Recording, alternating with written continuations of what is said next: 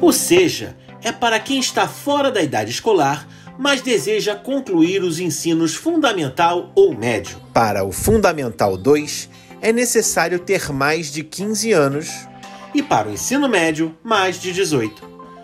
O modelo de ensino é semipresencial. Não há aulas presenciais como nas escolas tradicionais, e o aluno estuda a seu tempo. Retorna para tirar dúvidas e fazer avaliações é possível estudar uma ou mais disciplinas na ordem que desejar. O aluno conta com apoio de professores para auxiliá-lo no estudo das diferentes disciplinas. Esse atendimento é individualizado e pode acontecer de forma presencial ou através do ambiente virtual de aprendizagem.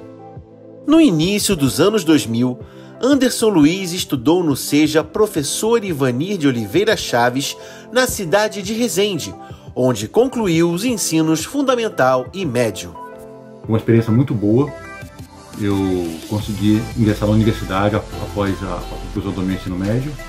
Passei para Física na UFRJ pelo consórcio CEDERJ, na modalidade semipresencial.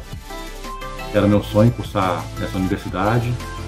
E no mesmo ano em que concluiu a graduação, Anderson prestou concurso para a rede estadual e passou em primeiro lugar. Logo depois, conseguiu uma vaga na Rede Seja da mesma escola onde ele tinha se formado em Resende. Nesse período, ele fez o mestrado e o doutorado pelo Instituto de Física da Universidade Federal Fluminense.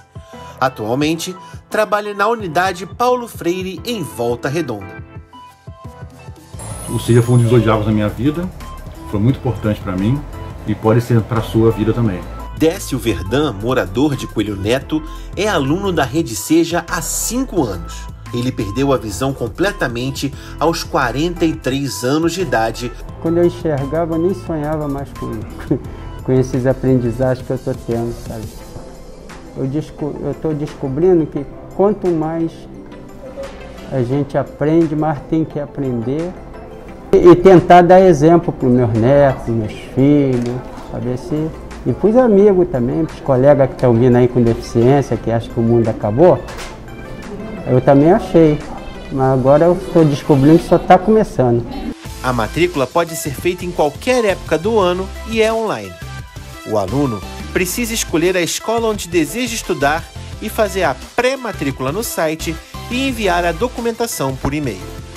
Todas as informações estão disponíveis na página da Rede Seja no site da Fundação CCIERG. Fundação CCIERG, Governo do Estado do Rio de Janeiro, Secretaria de Ciência, Tecnologia e Inovação e Secretaria de Educação.